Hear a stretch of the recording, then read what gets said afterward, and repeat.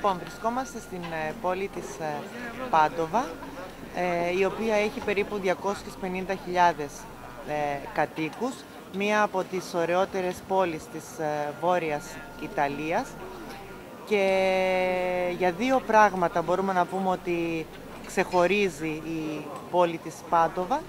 Το πρώτο είναι το πανεπιστήμιο που βλέπουμε ακριβώς πίσω με τις στοές, το οποίο ιδρύθηκε στις αρχές του 13ου αιώνα, συγκεκριμένα το 1222. Πρόκειται για το αρχαιότερο πανεπιστήμιο της Ιταλίας και ένα από τα αρχαιότερα πανεπιστήμια της ε, Ευρώπης.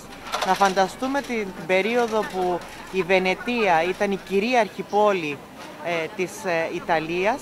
Η Βενετία δεν είχε τότε πανεπιστήμιο, είχε η Πάντοβα και πολλοί έφευγαν από την Βενετία για να έρθουν να σπουδάσουν σε αυτό εδώ το πανεπιστήμιο. Σήμερα στο κτίρια που βλέπουμε με τις στοές υπάρχουν μόνο τα γραφεία του Πανεπιστημίου, ενώ τμήματά του υπάρχουν διασκορπισμένα σε όλη την ε, πόλη. Το δεύτερο σημαντικό ε, μνημείο, στο πούμε, της ε, Πάντοβα είναι η εκκλησία του Αγίου Αντωνίου, η οποία χτίστηκε στα μέσα του 13ου αιώνα. Χρειάστηκαν περίπου 80 χρόνια για την κατασκευή αυτής της εκκλησίας και μέσα στην εκκλησία υπάρχει το σκήνομα του Αγίου Αντωνίου. Πέρσι, για πρώτη φορά, δηλαδή το Φεβρουάριο του 2010, ε, άφησαν ανοιχτό στο κοινό το σκήνομα του Αγίου Αντωνίου για μία εβδομάδα και μέσα σε αυτήν την εβδομάδα ε, ήρθαν 260.000 επισκέπτες να το δουν. Ακριβώς απέναντι από το Πανεπιστήμιο υπάρχει το Δημαρχείο της πόλης, ενώ εδώ βλέπουμε το πιο ιστορικό καφέ της ε, πόλης της ε, Πάντοβα, ε, και υπάρχει και κάτι το χαρακτηριστικό με αυτό το καφέ. Στο ισόγειο υπάρχουν διαφορετικά δωμάτια, τρία συγκεκριμένα με διαφορετικά χρώματα. Το πράσινο δωμάτιο είναι για αυτούς λέει, που δεν έχουν χρήματα. Μπορεί δηλαδή κάποιος να πάει και τώρα, να διαβάσει την εφημερίδα του, να μιλήσει με τον φίλο του, χωρίς να έρθει να του πάρει παραγγελία ο σερβιτόρος, γιατί ξέρουν ότι δεν έχουν χρήματα να πληρώσουν ε, τον καφέ. Και αυτό γιατί υπάρχει μέχρι και σήμερα, γιατί όσο ήταν το πανεπιστήμιο απέναντι, οι φοιτητές που δεν είχαν χρήματα ερχόντουσαν σε αυτό εδώ το χώρο να διαβάσουν, να κουβεντιάσουν και έχει μείνει η παράδοση από τότε.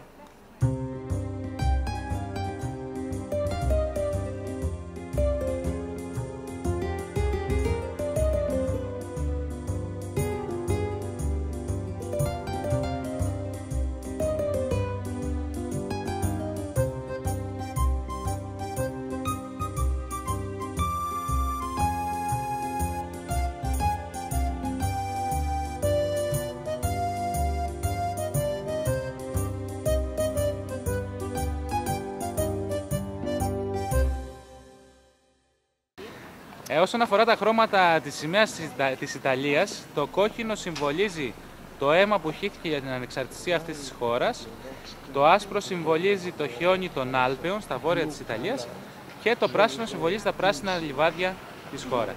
What's the name of the cafe? Καφέ Πεντρόκι. Αυτό είναι το καφέ Πεντρόκι, το πιο ιστορικό καφέ της ε, Πάδοβας. Στο ισόγειο αποτελείται από τρία δωμάτια. Το κάθε δωμάτιο έχει διαφορετικό χρώμα. Έχει ένα χρώμα από τη σημαία της Ιταλίας. Και είναι παράδοση, λέει εδώ, αν θα καθίσει στο πράσινο δωμάτιο, το οποίο είναι το πρώτο από αυτή την πλευρά, να μην έρθει ποτέ ο σερβιτόρος να σου πάρει παραγγελία, να σε ενοχλήσει για οτιδήποτε. Μπορείς να κάτσεις όση ώρα θέλεις και να κάνεις ό,τι θέλεις.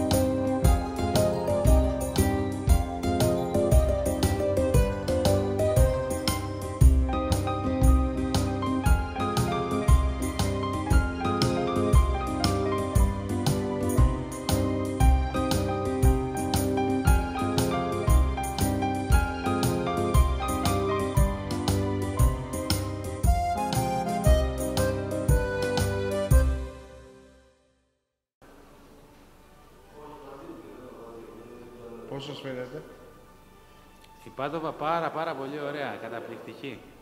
Αρχιτεκτονική.